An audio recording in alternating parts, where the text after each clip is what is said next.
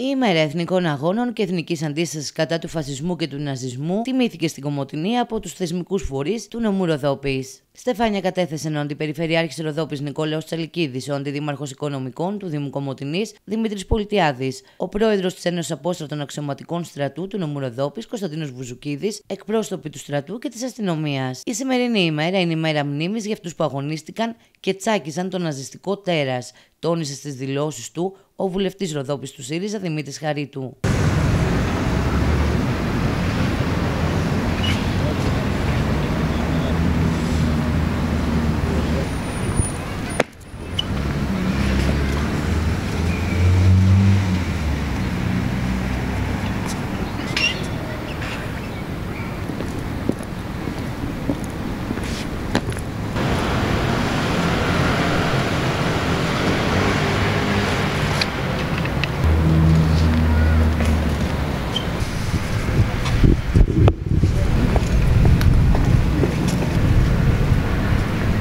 Σημερινή ημέρα είναι η μέρα τιμής και μνήμης για τους λαούς που αγωνίστηκαν και τσάκισαν το ναζιστικό τέρας που αναδύθηκε στην Ευρώπη.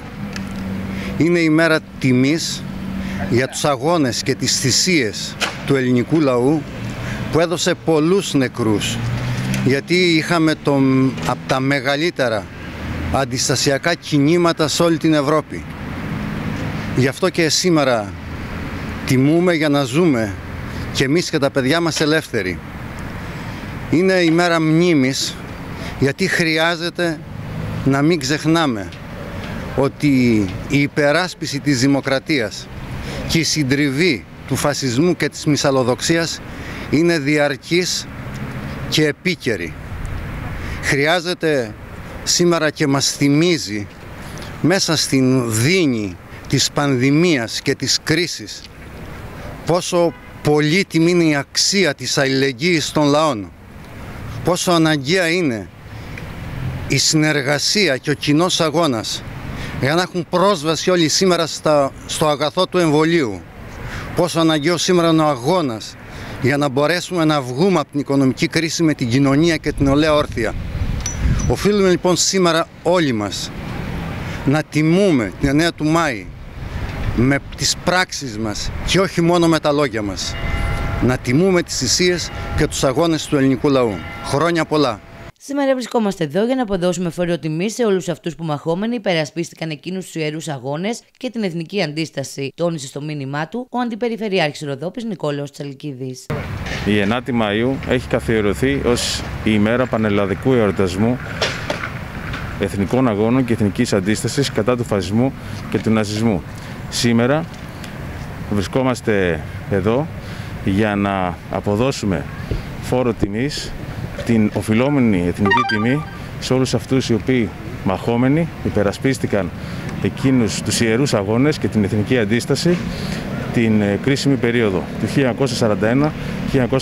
1941-1944.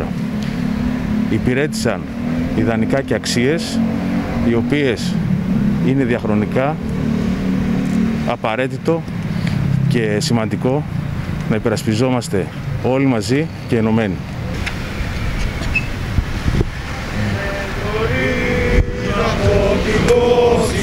του σπαθιού